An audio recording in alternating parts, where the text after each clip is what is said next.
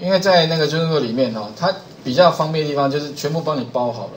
可是 Visual Studio 都还没有帮你包好，你很多东西都要自己来把它拉来拉去，所以设定起来，如果你这边有概念，你在看 Visual Studio 就会比较清楚。但是如果你有些同学没有概念哦，直接跳到 Visual Studio 就直接昏倒了。OK，哎，就想说怎么这个地方跟这个地这哪里来，这哪里来，这哪里生，都搞不太清楚。那 Jungle 这比较简单，而且它有很多地方哈，在 Visual Studio 要要自己打程式，在这边完全不用打程式，因为在这个呃 Jungle 里面呢，它有面板，反正你只要找到面板，自己设定一下就好了。以这个例子为来看哦。我们来看一下这个怎么做。首先第一个哦，哈，OK，那大家刚刚的第一就设定网站，或者叫做什么设定 App 网站算了，OK，可能比较清楚。哎，设定网站以为我们在做网在做网站，其实不是。啊，最重要的就是说 HTML 这个一定要要正确，存档名称一定要正确，因为如果你其中一个不正确哈，将来在你手机里面看到的就不会是一个标准的一个 App，OK。然后第二个的话就是说哈，我们要在这个网页，就是这个 index 里面建立四个 jQuery Mobile 的页，呃，这个四个 jQuery Mobile 的页面。OK，那如果在 Visual Studio 肯定要自己写啦，可是在这边不用自己写。这个我觉得最方便的地方就是怎么做哦？这个地方打开它，那请记住哦，我的习惯是这样，这个设计模式我习惯用传统的。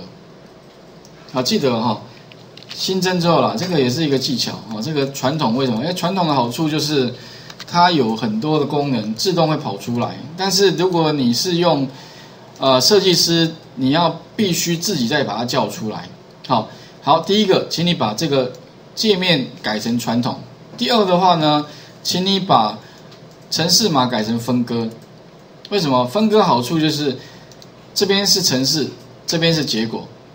马上看到，那我们需要做什么事呢？第一个，请你把这个结构哈，body 跟 body 中间，请你插入四个页面。这四个页面怎么插入？而且是要四个 jQuery Mobile 的页面哦。那我觉得 Java 最方便的地方是哈，它自动就帮你增加一个这个东西，叫 jQuery。嘿，这个太方便了。哦，我在其他工具还没看到这么方便的，直接就给你了。好，不然 Visual Studio 你要去哪边找？没有，自己打。OK，所以有的时候我这这边弄好贴过去就好了。哦，不然你很多要自己手动的哦。好，所以那怎么用哦才是重点。那这个东西怎么出来的？一定要是传统的。如果你不是传统，你要到视窗里面自己去把它叫出来哦。所以这个还蛮重要的哦。所以这个都这都都是都是要摸索，而且花很多时间做。熟了就会很清楚这个东西哈。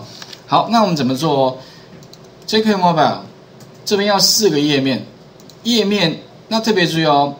以后这些 jQuery Mobile 的相关的元件哦，它都已经用什么？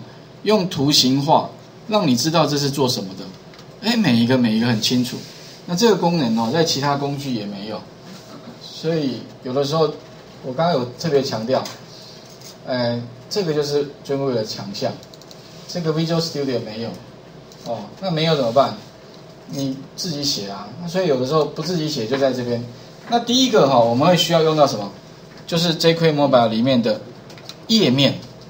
那页面我需要四个，那怎么加哦？特别是要，请你先点它一下，它会问你第一个问题，因为你的函式库还没有被加进来。那特别注意哦，因为我们在这个地方哈。目前呢，如果你要引用它的函式库，有两种方法，一个是远端的，直接连线去抓那韩式库过来；第二个是直接把韩式库包在你的网站里。我大部分还是选择什么？选择直接包进来，就是用区域的。当然，如果说你以后啊要动态的去抓它的韩式库啊，也可以啊，只是说你的手机一定要连线。如果手机没连线，那就连不过去啊，连不过去。那画面就挂掉了，OK，所以特别注意啊，还是用什么？用区域的比较保险。好，那它里面会帮你做什么呢？自动帮你把几个东西哦，它还跟你讲哦，其实就主要是，哎这几个哦，就是一 JavaScript，嗯这边有个 jQuery 原始档哦，然后 Java 哎 JavaScript 哎 J jQuery Mobile 的 JavaScript 的档，其实就是这个档，好有没有？哎它叫 jQuery Mobile 的一点零的 M Mini 有没有？点 JS。这是它的函式库，就 jQuery Mobile 的函式库哈。然后另外还有 jQuery Mobile 的 CSS，CSS 指的就是它的外观。比如说我们会看到那个很漂亮的外观都用这个来做的哈。那不过它有个缺点，就是它的这个一点零的版本比较旧了。一般现在有更新的版本，当然你初期如果不知道，暂暂时知道这些就可以。另外它的底层是 jQuery，所以一定也要引用 jQuery。大概这些东西哦，那把它怎么样？按一个确定，确定之后的话呢，哈，它就跳出什么？哎，那你第一个页面呢要叫什么名称？那我们叫 home 好了，哦，回首页这个。